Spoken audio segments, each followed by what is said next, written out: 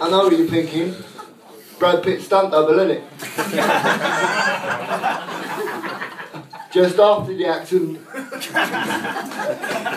I know what you're thinking, fella. You're thinking, fuck me, Stephen Hawking's had a makeover. no, it's just been on this morning. In case you, uh, some of you were wondering, my, my left hand does a lot of crazy, shi- crazy shit. And my family de- kindly decided to nickname him Wilf. I like to think it stands for wife I'd like to find attractive. No, it's really wife I'd like to fuck. I, I say I can't control it, but it does know the difference between a fitty and a minger. So if I do grope you warmly by the arse, please take it as a compliment. Stand-up comedy. Well, that's a good fucking start, isn't it?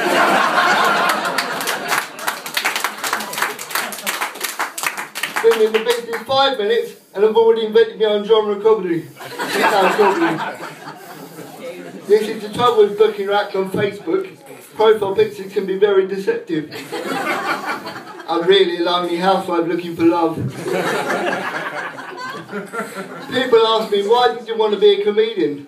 Well, I wanted to be a footballer originally. Can't think why I didn't succeed. Maybe it's because I've got two left feet. I used to love it when I was a kid though, especially at kids' parties. When they played musical chairs, I always won. It's, it, it is a bit of an advantage being this low down, especially when it comes to the ladies, because they have to bend over and give you a cuddle. they're, just think, they're just thinking, let's give the poor disabled boy a cuddle. I'm thinking, there's one for the wank bank.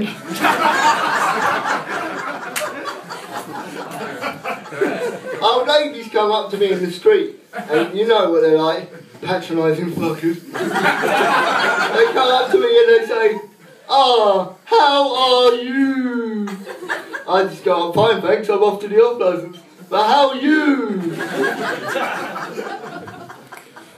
um, I saw I saw an advert uh, recently for, for a drama school. I misread it, I thought they said spaz hands instead of jazz hands.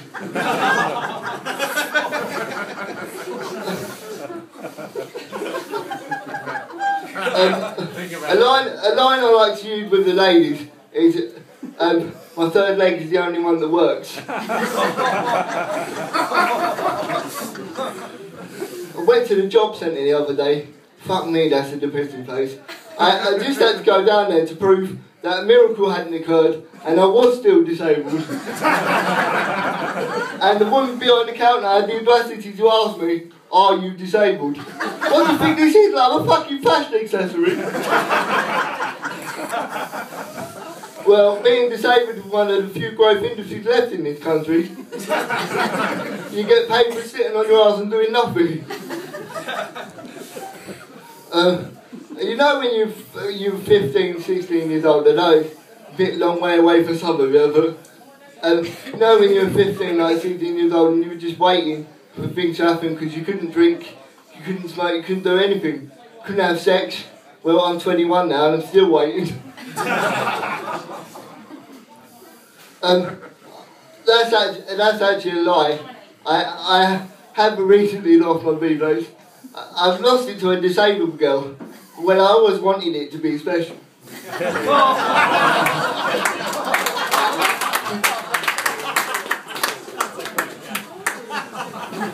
Good thing about having a girlfriend in a wheelchair, she can't run away.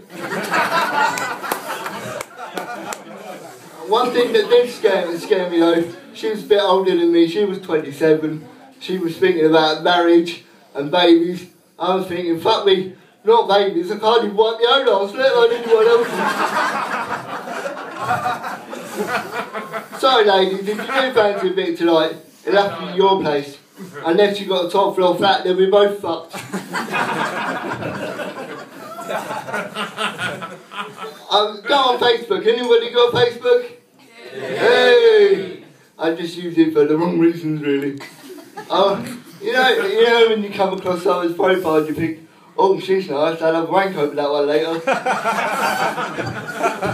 trouble is, when you meet her in the street the next day, you know you just spunked up over her. yeah, that's me. I, I hope you enjoyed it. That's me. See ya.